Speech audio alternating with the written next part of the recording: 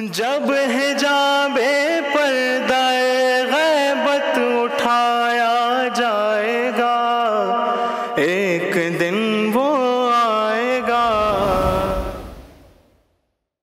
He is the इमाम जुमा महफिल पंजतनी Panvel new Mumbai graduate from Maulana Azad university is an आलिम from Allahabad university अदब माहिर from Aligarh Muslim university graduate from Jamia Imam Amir al Mu'mineen alayhi salam, Najafi House, Mumbai. His topic are scholars in touch with Imam Mahdi alayhi salam. He shall be speaking in Urdu. I welcome on stage Hujjatul Islam Maulana Sayyid Ali Abbas Sahab, known as Ummeed Azmi. अज़बिल्लिमिनशैतानरजीम बसमीम अल्हम्दुलिल्लाह अला अहलिही वलानतुल्लाह अला मुस्तहक़ अम्मा बाद, फ़क़द। क़ाल इमामुल महदी अलैहिस्सलातु वस्सलाम। बिस्मिल्लाहिर्रहमानिर्रहीम अम्मल हवादिसुल वाक़िया। फ़र्जऊ फ़ीहा इला हदीसना। हज़रत मोमिन आज के इस चूँकि मुख्तसर, बहुत मुख्तसर सा वक्त है हमारे पास और मजमून जो है ये बहुत बड़ा है। सैकड़ों रवायात और हदीस हैं। मैं सिर्फ़ एक हदीस और एक रवायत पर इक्तफ़ा करके वक्त के अंदर चूँकि ट्वेल्व टॉक है तो बारह मिनट में अपनी बात को ख़त्म कर दूँगा। इमाम की जो अहादीस हैं, चूँकि हमारा मजमून और मौजू अभी बताया जा चुका है कि क्या हमारे और फ़क़हा इमाम के रबते में हैं। इस सिलसिले में बहुत सी बातें हैं। हमारे मुतरीन के जो हैं, जिसमें सर फहरिस्त शेख तूसी, इनका ये कहना है कि बाकायदा हमारे इमाम के रबते में हैं। उसकी वजह और उसकी दलाल बहुत सारे दिए हैं उन्होंने वक्त नहीं है कि हम उन दलाइल की तरफ़ जाएँगे। असल बात जो मैंने ये हदीस पढ़ी है आ, इमाम की इसमें यह है कि इमाम फरमाते हैं कि और बहुत मशहूर है देखिए हवाला जात नहीं दिए जा रहे हैं या अरबी इबारतें नहीं पढ़ी जाएँगी ताकि वक्त बचा रह जाए। बहुत मशहूर यह है कि जब तुम मुश्किल में हो या इस ज़माने में तुम पर कोई चीज़ लगे तो तुम हमारे रावियों की तरफ़ इन मामलात में मुराजत करो, उनकी तरफ़ रजू करो। हम उन पर हजत हैं, वो तुम पर हजत हैं। ये लफ्ज़ हजत बता रहा है कि ये इमाम के रबते में हैं। अगर ये इमाम के रबते में न होते तो इमाम कभी ये नहीं कहते कि हम इन पर हुज्जत हैं और ये तुम पर हुज्जत हैं। ये हुज्जत बता रही है कि ये इमाम से इनका रबता है। आगे गुफ्तु आएगी कि रबता किस तरह है। देखिए, इमाम का जो दौर गैबत है, वो दो तरीके का है। गैबत सगरा गैबत कुबरा। गैबत सगरा का जो ज़माना है, उसमें नवाब अरबा के ज़रिए से इमाम बाकायदा रबते में थे, उनके ज़रिए से बकिया अफराद नवाब अरबा के ज़रिए से इमाम से रबते में थे। मगर गैबत कुबरा के ज़माने में 329 के बाद से लेकर गैबत जो कुबरा का ज़माना जो शुरू हुआ, उसमें यह रबता बज़ाहिर मुनक़ा हो गया। बज़ाहिर मुनक़ा हो गया, लेकिन बबातिन मुनक़ा नहीं हुआ। चूँकि इमाम गैब में चले गए तो बज़ाहिर मुनक़ा हो गया, बबातिन मुनक़ा नहीं हुआ। क्यों? इसलिए कि जब इमाम ने यह कह दिया कि तुम इनकी तरफ़ मुराजिया करो, हम इन पर हुज्जत हैं। जब इमाम कह रहे हैं कि तुम इनकी तरफ़ मुराजिया करो, आप देखें, अगर आप किसी की तरफ़ किसी को भेजेंगे तो उसके तमाम आमाल से गाफिल नहीं होंगे।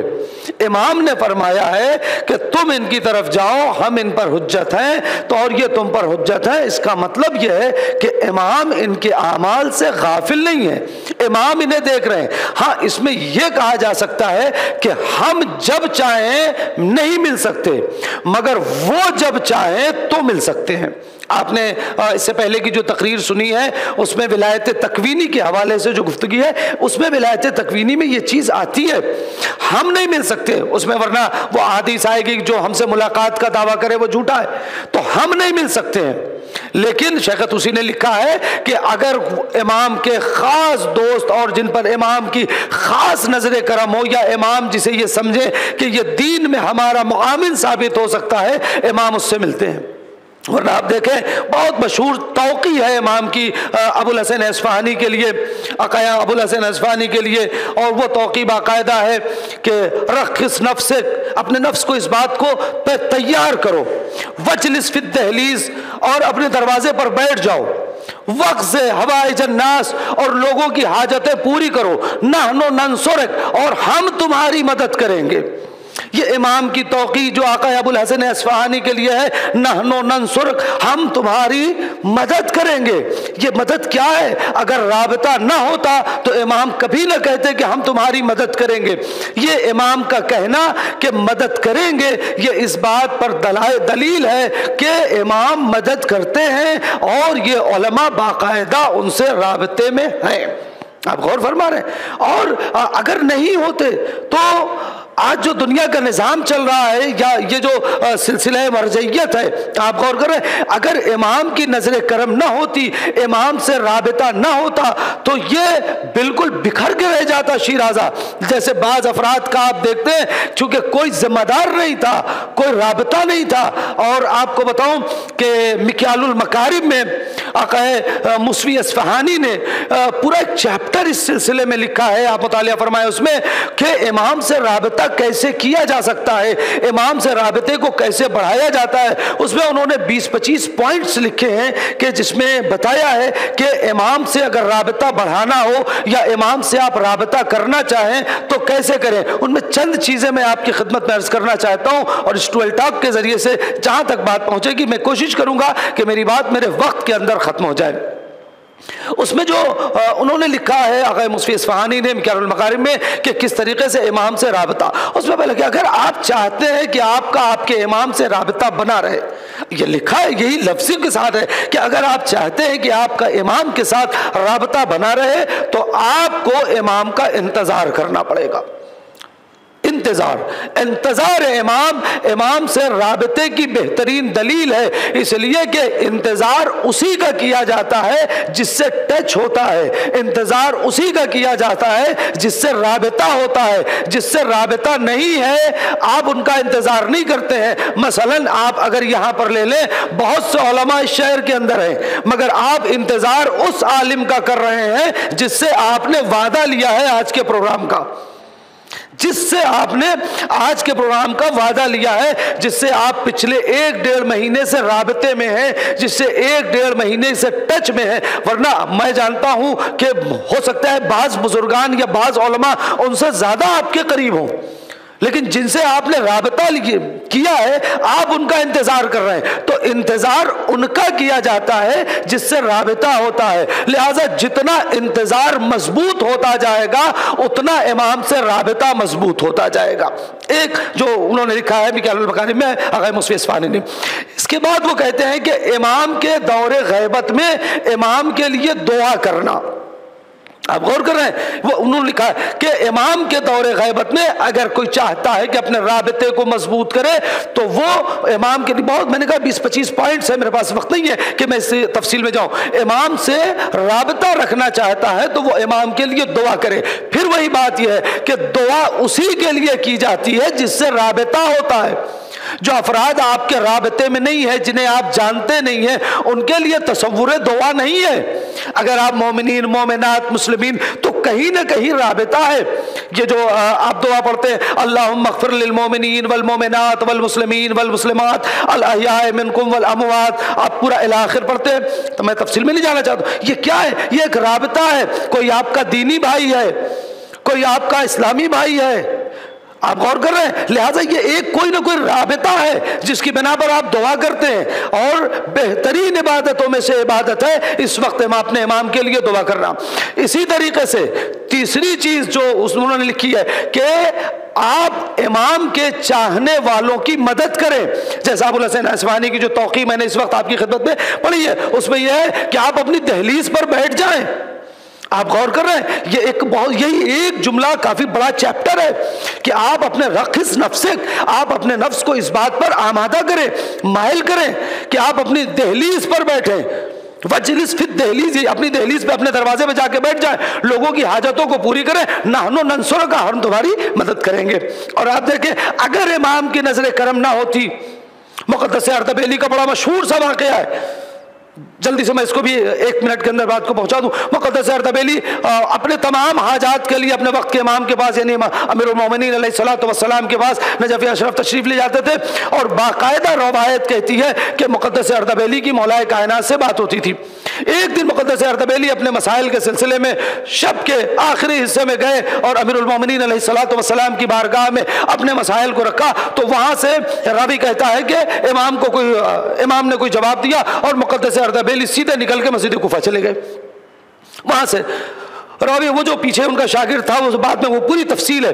उसने पूछा कि क्या हुआ? आप वहाँ से यहाँ हुए और वहाँ एक पिलर के पास और एक गोशे में गए और वहाँ एक नूर देखा और वो बात हुई। कहा कि मैं अपने मसाइल के सिलसिले में अमीर मोमिन सलाम के पास गया था। अमीर मोमिन ने कहा कि इस वक्त तुम्हारे इमाम मस्जिद कोफा में है।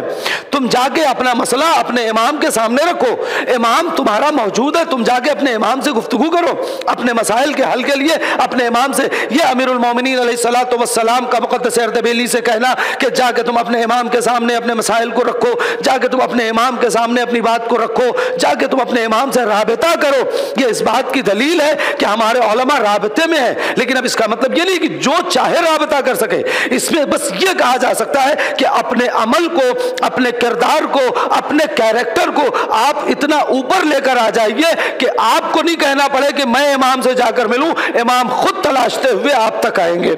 जैसा इससे पहले इमाम के हवाले से और उससे पहले के आइम्मा के हवाले से ये रवायतें मशहूर है कि किस तरीके से इमाम जाते थे और जाकर मिलते थे। तो तीन चीज़ें, आखिरी चीज़ मैं बात करूँगा ताकि मेरे वक्त में बात ख़त्म हो जाए। इमाम के जो शिया हैं, इमाम के जो चाहने वाले हैं, उनकी मदद करना। उसके अलावा, इमाम से मंसूब जो दुआएँ हैं, उनकी तिलावत करना और लोगों को उस तिलावत पर आमादा करना। आप गौर करें दुआ नुतबा है, इमाम की सलामती की दुआ है, ज़्यारत आल यासीन है। इनकी खुद भी तिलावत करना और उसके बाद इस तिलावत की तरफ़ लोगों को मायल करना इमाम से रबते को मज़बूत करता है। चूँकि इनके जब आप मफाहीन में, इन दुआओं के मफाहीम में जाएँगे तो आपको लगेगा कि रबता है। और अगर कोई, बस मैं आखिरी बात, चूँकि छत्तीस सेकंड मेरे पास बचे हैं, आखिरी बात मैं कह के बात को ख़त्म करूँ। अगर कोई ये कहता है कि इमाम से रबता नहीं हो सकता तो इसका मतलब यह है कि वो कह सकता है कि खुदा से भी रबता नहीं हो सकता है। इसलिए कि जिस तरीके से इमाम पर्दे गैब में है, खुदा भी तो ज़ाहिर नहीं हो सकता। कौन बंदा है जो ये कह सकता है कि वो बंदा होकर अपने खुदा के रबते में नहीं है? आप गौर कर रहे हैं, परवरदिगार आलम ने कहा है कि, ए मेरे बंदो, घबराना नहीं। मैं तुम्हारी रग नहनो अकरब मिन हबलिल वरीद। मैं तुम्हारी रगे जा से ज़्यादा करीब हूँ। ये रगे जा से ज़्यादा करीब खुदा है तो इसका मतलब यह है कि जब खुदा रगे जा से ज़्यादा करीब है तो खुदा ने जिसे हम पर हजत बनाकर भेजा है, वो भी रगे से ज़्यादा करीब है। हम उसके रबते में उसी तरीके से हैं, जैसे बंदा खुदा के रबते में है, खुदा के रबते में सजदे की बिना पर है, और अपने इमाम से रबते में दुआ की बिना पर है। वह आखिर दामाना अलहमदिल्ला रबालमीन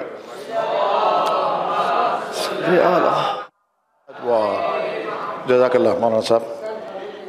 On behalf of 12 Talks, we present a small token of appreciation to Maulana Saab. Summarizing uh, what Maulana Saab said, his topic was our scholars in touch with Imam Mahdi alayhi salam. He has quoted some hadith from Imam Mahdi alayhi salam where the Imam has asked the people to connect with the scholars who are then connected with the Imam himself. Maulana Sahib also mentioned that we cannot meet the Imam, but if the Imam salam wants to meet, he can meet the selected people. How would one connect with the Imam? Maulana Sahib in his speech gave us a few pointers where he said to do intizar, to do dua and to help your brethren.